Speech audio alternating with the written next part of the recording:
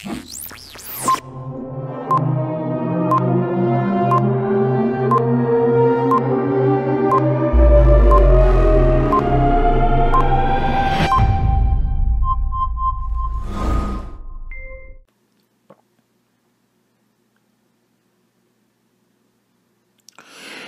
are listening to KZET Cornerstone Online Live. My name is Newton He. As for today's Bible, October 18th, 2020, this preached by Pastor Joon Park. I'll be reading the narration that'll be autocast through Facebook and YouTube channels.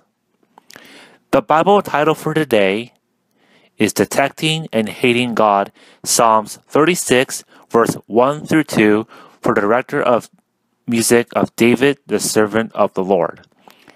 I have a message from God in my heart concerning the sinfulness of the wicked.